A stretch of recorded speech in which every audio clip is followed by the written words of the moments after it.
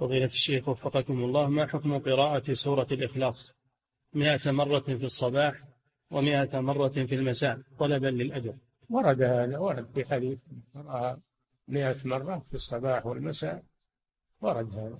راجعوا تفسير ابن كثير إنه أطال عليها من الأحاديث الواردة في شأنها. نعم.